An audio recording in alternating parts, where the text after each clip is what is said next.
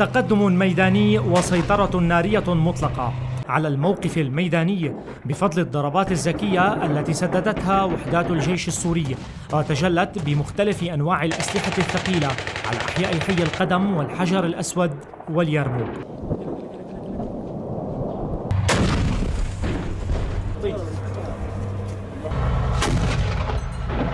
نحن جنوب العاصمة السورية تحديدا عمليات الجيش العربي السوري تتركز باتجاه القدم والحجر الأسود خلفنا تماما منطقة اليرموك. هناك مجموعات للجيش تتقدم باتجاه شارع الثلاثين لاقتحام حي اليرموك.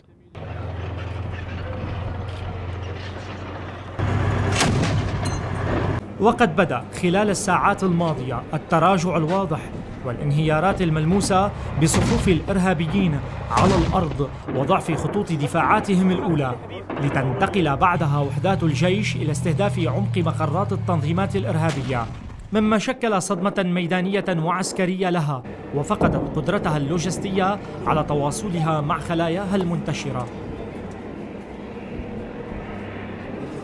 أهم ما يمكن أن توصف به عمليات الجيش العربي السوري هي بالسرعة الخاطفة والتكتيك المتميز والزخم باتجاه معاقل المجموعات الإرهابية.